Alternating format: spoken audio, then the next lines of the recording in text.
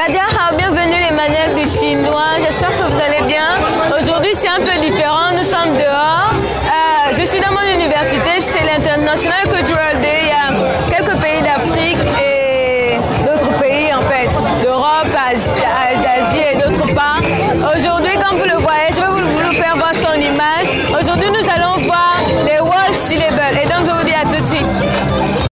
Je disais, aujourd'hui, nous allons voir les syllabes entières. Il existe 16 syllabes entières en chinois mandarin et elles sont là, lisez, la, lisez après moi.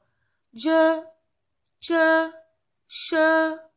re, ze, te, se, wu, i, yu, ye, yuan, yin.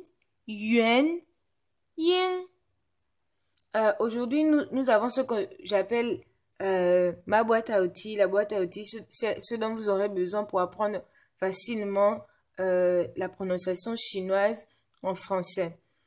ZH est lu en chinois je, je comme en français. CH est lu en chinois che, che. SH, che comme en français. R est, est, est lu R, R, R, R.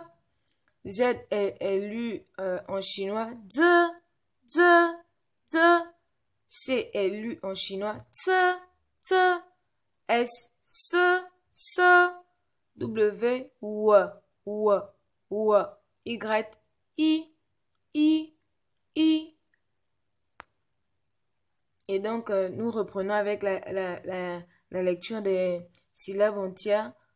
Je, che, che, re, de, te, se, wu, i, yu, ye, yue, yuan, yin, yuan, yin.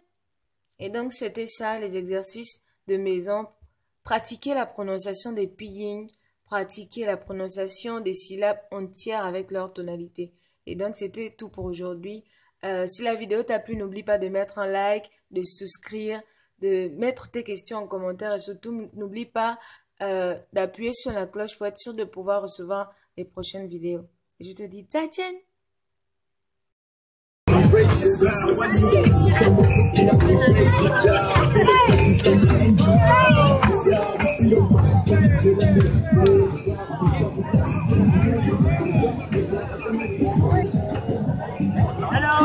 没找上你，我操！